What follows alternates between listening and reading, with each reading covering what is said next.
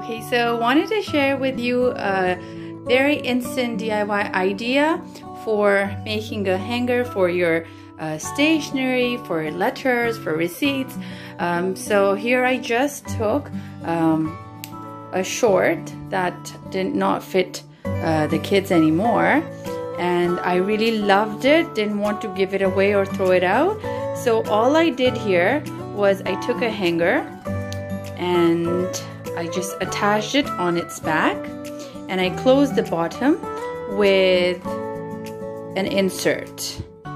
So I'll show you. So I made an insert using just this transparent paper and that was uh, sufficient to keep it um, open for the envelopes and letters and you put in your big stuff or you can easily stow, uh, sew um, hand stitch the bottom of this or machine uh, running stitch uh, whatever is more convenient. Even you can use the styrofoams and you can use the pockets here and whatever you like and you don't have to throw out your favorite uh, kids clothes if you can make a DIY hanger like that.